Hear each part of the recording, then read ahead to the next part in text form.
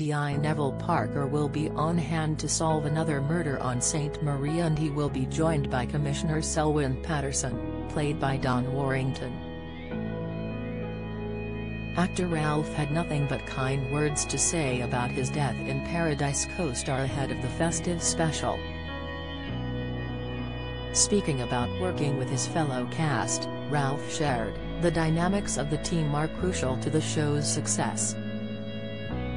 The show stands or falls on whether the audience takes them into their hearts.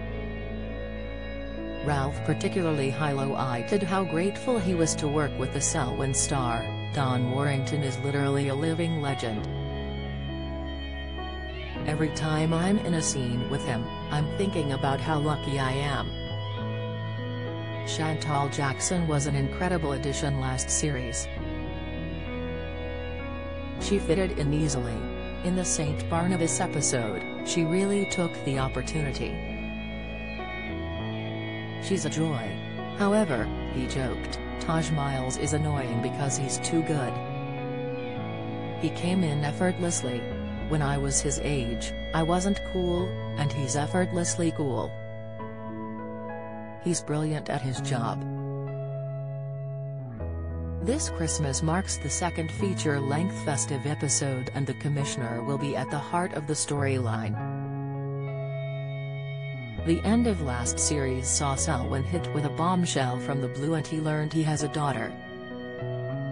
How has he dealt with this knowledge and will it get in the way of his latest investigation?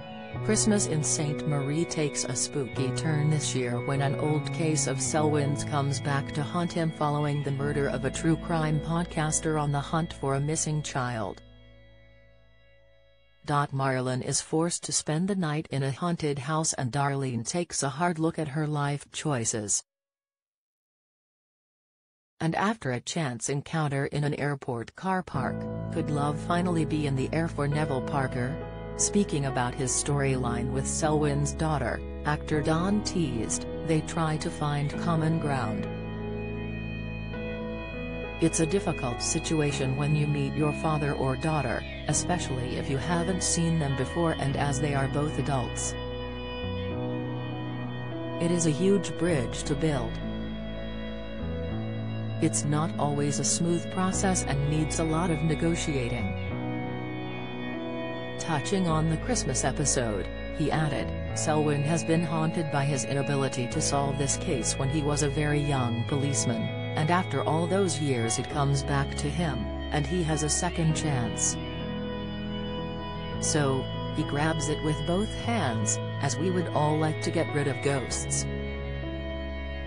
Death in Paradise Christmas special airs Boxing Day on BBC One.